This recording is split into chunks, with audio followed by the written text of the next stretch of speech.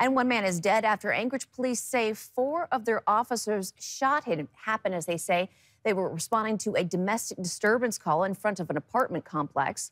Lauren Maxwell live tonight near Northwood Drive and Ra Raspberry Road. Rebecca, it happened at the apartment complex behind me after what APD says is their first officer-involved shooting of the year. Now, they responded here at about 2 in the morning, and what happened next, they tell us, was captured on body camera.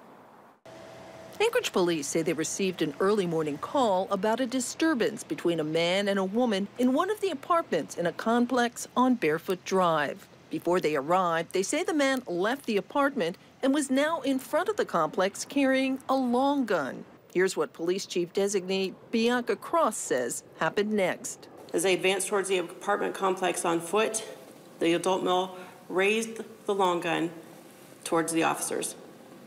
Four officers discharged their weapons, striking the adult male once in the upper body, at least once in the upper body. I live just right over here. Raquel Nichols Cullison didn't see what happened, but she heard it.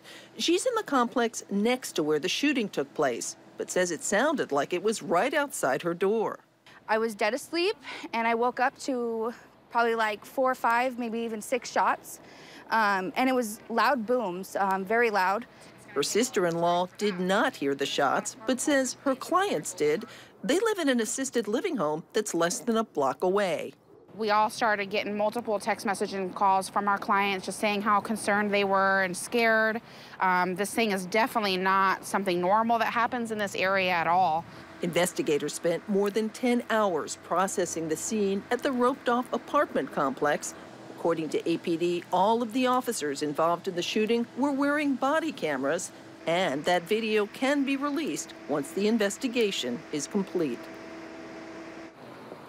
Now, as per police policy, the officers will be placed on administrative leave for the next four days, and there'll also be two separate investigations, one into whether deadly force was actually necessary, and then another into whether APD officers violated any of APD's policies.